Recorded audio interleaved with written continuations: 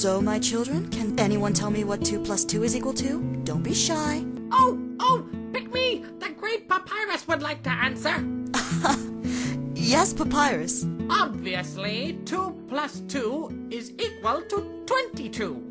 Uh, I'm sorry, Papyrus, but 2 plus 2 is equal to 4, not 22. You made a commendable effort, though. What? How can this be? Hey, Papyrus.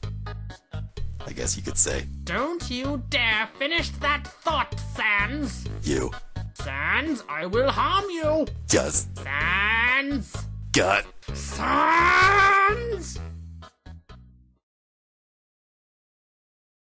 schooled.